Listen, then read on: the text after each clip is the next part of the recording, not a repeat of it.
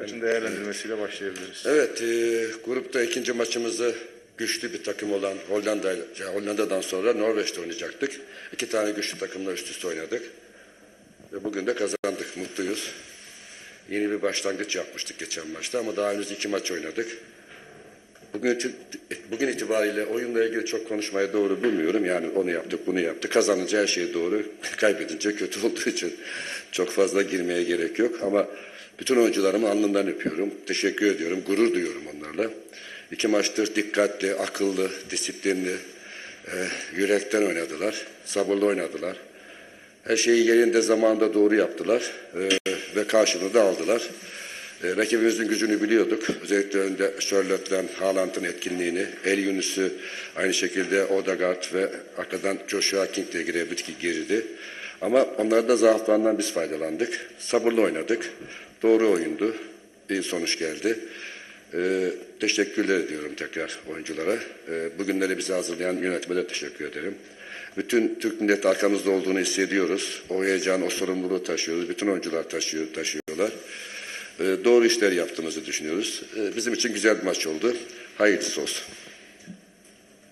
Soru var mı? Alp Bey. Alp Pehlivan TRT Spor.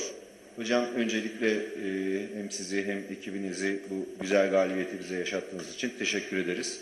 E, bu vesileyle de hem sizin hem ekibinizin hem de futbolcu grubunun biz de Kandil'i kutluyoruz. Sizin elinizi daha sonra öpeceğim ben.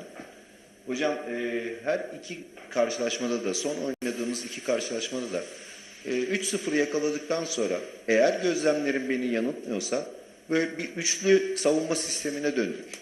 Bu e, skoru koruma adına olduğunu düşünmüyorum. Acaba Avrupa Şampiyonası'ndaki ekiplerimize karşı bazılarına karşı bir oyun planının denemesi miydi? Onu merak ettim sormak istedim. Şimdi oyunla ilgili önce tabii Kandil'i tekrar Türk Türkiye'ni kutluyorum. Pandemi döneminde de hep, hepimizin dikkatli olması, dikkatli olması gerektiğini söylüyorum. Oyunla ilgili e, oyun içerisinde rakibin ikili santroforu yan yana olup Odegaard'ı içeri, El Yunus'u içeri sokuyordular. Bekleri çıkarıyordu. Bekleri kapattık onu. Kapatmaya çalıştık. Hakan çok çalıştı. Yani belki kendi oyunun dışında çıktı ama ofansa da iş yaptı. Yusuf da bunu iyi yaptı. Ofansif, defansif olarak. Ama geride risklerimiz vardı. Uzun toplar. Kafadan bir tane yaptılar onu. O da offside oldu galiba. Onun dışında yapamadılar. Başarılı olduk. Kafa kafaya çıktık. 1.94 boyunda iki tane hareketli santrforları var. Ona karşı Okay'ı zaman zaman yardımcı oldu. Daha sonra bizim zaten alternatifimiz kalmadı defansta. İki bek, iki stoperimiz yok bizim de şu anda. Yani Ozan da hastaydı. Hatta koyup koyma dedim ısınsa bak ısındığı zaman hasezim dedi. Ama öğleden sonra bir daha baktım ısındı. 10-15 dakika oynarım deyince ben onu oyuna koydum. O zaman da üçlüyü daha rahat kullandık. Çünkü hem ileri gidip de fazla tutamıyorduk hem de skor gelmişti. Çok yorulan oyuncular vardı. Burak, Yusuf, Hakan, Kenan. Onları dışarı, e, dışarı çıkarıp orada daha çok koşan oyuncu Halil'i, Caner'i, Enes'i koydum. Hem de aynı zamanda Taylan'ı koydum. Hem de aynı zamanda gerideki oyuncularımızı onların hava toplarına karşı tedbirli için bunu yaptık. Üçlüye tabii dönmeyi de düşünüyoruz. Yani üçlü, ikili, ben dört, dokuda durmam üstünde. Çünkü nihayetinde savunma ve hücum yapıyorsunuz. Sistemler bize yardımcı olan unsurlardır. Ama değişiklikler oyuncunun kafasında karışıklık yaparsa yapmamak lazım. O da bizim oyuncularımız her şeyi benimsiyor. Ülkenin sorumluluğu içerisinde verilen görevi en iyisini yapmaya çalışıyorlar. Bir sıkıntı olmadı. O da dediğiniz doğru. Elimi öpmene gerek yok. Çünkü biliyorum senin de kaleciliğini beraber çalıştık. Ee, teşekkür ederim. Kabul ettim sayın. Tercüme edecek misiniz Norveçler için yoksa? Bizde Norveç'te sorduğu zaman sadece bir İngilizce soru aldılar bizden. O zaman sizin sorunuzu alayım ben Şenan Bey isterseniz. Bitirelim ondan sonra. Onu bitirelim ondan sonra onlara geçeriz. Hem de açıklama yaparlar. Hocam tebrik ediyoruz. Ee, tek bir sorum olacak. Ee, belki sadece Türkiye milli takım için değil ama büyük takımların en büyük sıkıntısı belki de istikrardır. İki tane önemli maçımızı kazandık. Çok önemli ama önümüzde Letonya var. Eğer e, Letonya'da bir kaza olursa belki de bu aldığımız galibiyetlerin çok da kıymeti olmayacak. O yüzden istikrarı kazanmakta, Letonya'ya aynı e, disiplinle sahada çıkmakta zorlanacağınızı e, futbolcuları motive etmekte güçlük olacağını düşünebiliyor musunuz? Şimdi düşünce olarak, kazanma duygusu olarak, sorumluluk olarak olacağını düşünmüyorum. Oyuncularımız artık ona alıştılar. Ne düşündüğümüzü, ne yapmak istediğimizi bir ekip ruhu içerisinde hepsi biliyor. Yani bizim söylediklerimiz değil, hep birlikte ne yapacaklarımızı paylaşıp ortaya koyuyoruz. Ancak bu tip maçlar zordur, zorlukları vardır. Ee, Norveç de mesela 43 dakika gol atamadı Cebel Tarık ama iki gol birden attı. Sonra üçüncü golü attı. O yüzden sabırlı oynayıp belki 1-0, 2-0 işte Hollanda'da Letonya'ya e, iki tane attı. attı. Yani bu belli olmaz. Biz peşinen favori olmayı, peşinen mağlup olmayı kabul ediyoruz bazen. O doğru değil. Hep söylüyorum. E, ne ezik olacağız ne de havaya gireceğiz. İkisi de doğru değil. Azı karar, çoğu zarar. İşimizi iyi yapacağız. Zor bir maç. Ee, yani Letonya maçı da bir defa iki tane güçlü takımı yendiğimiz diğer maçta yeneceğimizin garantisi değildir. Ama oyunumuz ve isteğimiz, kazanma ruhumuz bir garantidir. Avantajdır. Onu kullanacağız. E, artık buraya geldikten sonra da yüzde yüzünü yapmak durumundayız. Zaten bu akşamdan itibaren e, sadece Letonya maçına hazırlanacağız. Ondan sonra Avrupa Şampiyonası var. Daha sonra Eylül ay- ayına geliriz. Yani dedim ya her şey yerinde zamanında yapmak lazım. Biz de öyle yapacağız. Ama Letonya maçına dediğinize katılıyorum. Bu duyguyu iyi ki de açtınız. Bütün Türkiye'ye söylüyorum. Belki işte oldu daha önce Avrupa Şampiyonu. Son dakikada attığımız gollerle maç kazandık. Ama Fransa'yı daha rahat yenip daha iyi oyunla. E, futbolda var bu. Futbolda zaten sürprizler onun için oluyor. Hollanda iyi bir takım, Norveç iyi bir takım. Çok e, marka oyuncuları var. Ama buna karşı hazır olmak. Şimdi iki maçın oyun tarzıyla Letonya maçının oyun tarzı aynı olmayacak. Bunun da zorlukları var. Savunma yapmak her zaman hücum yapmaya göre daha zordur. Daha çok beceri ister, daha çok zenginlik ister. Onun için katılıyorum size ama e, tekrar söylüyorum. Bu kadar emeğin karşılığında oyuncuların da buna hakkı yok. Benim de hakkım yok, Türkiye'nin de hakkı yok. Bunun karşılığını almamız lazım. Çok ihtiyacımız var, çok istiyoruz. Ben çok istiyorum e, Dünya Kupası'nda olmayı. E, benim şu anda çok mutluyum. Oyuncular mutlu, Türkiye mutlu. Bu mutluluğu Allah bozmaz, yeter ki biz bozmayalım. Teşekkürler. You can ask. Yabancı mı şimdi? Do you have the translator here? Yes, okay. You can ask. No problem. Uh, yes, sir. How do you see uh, this uh, match against uh, Norway? Ee, merhaba. Ee, bu maçı e, nasıl buluyorsunuz? Yani karşı, karşılıklı Norveç'le oynadığınız Norveç'le beraber. sizin için nasıl? Nasıl buluyorsunuz? İki taraf için nasıl geçti? Ee, güçlü bir takıma karşı oynadık. Özellikle hücumda çok güçlü bir takıma karşı oynadık. Onların güçlü olan taraflarını e, zaaf uğratınca, kontrol altına alınca bizim hücuma çıkışta da etkili ataklarımız var, etkili oyuncularımız vardı. O yüzden oyun bizim lehimizde geçti. E, topun onlarda, onlar bizde kalmasını istiyordu. Biz de onlarda kalmasını istiyorduk. Top onlarda kaldılar zaman zaman. Hücum, at- hücum pozisyonunda da uzun toplar atıyordular. Onların e, hücum varyasyonuna göre iyi olmamız, başarılı olmamız ve çıkışta da etkili ataklarımızı e, başarılı ile beraber bitirmemiz oyunu lehimize çevirdi. Okay. So basically, uh, it was the Norwich team is also a strong team, and then uh, there was like some struggles because they were also like uh, taking the ball, like uh, and then trying to attack and stuff.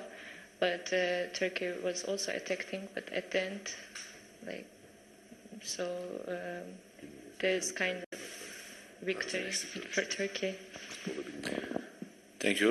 Is there any questions? Biraz sesli konuşur musun? Tamam Okay. tamam. Uh, last time you get a telephone from the president uh, Erdogan. Did you get that uh, after this uh, victory? Uh, sorry, can you repeat it again? Yeah, last time you got a telephone from uh, the, the president after the victory over Holland. Okay. Uh, did you Hollanda get, uh, maçından this sonra time? Cumhurbaşkanı. Aa, so we, um, evet şimdi e, diyor ki en son e, pre- Aradı anladım soruyu evet anladım. evet evet Evet e, aradı yine açmış. aradı. Zaten Aradı. o kendisi de eski futbolcu ee, ve de ilgili seviyor bizi. Futbolu da seviyor. Türkiye'nin başarısını istiyor. Her şeyi paylaştı. Tebrik etti. Oyuncuları, başkanı, yönetimi, teknik heyeti herkesi tebrik etti.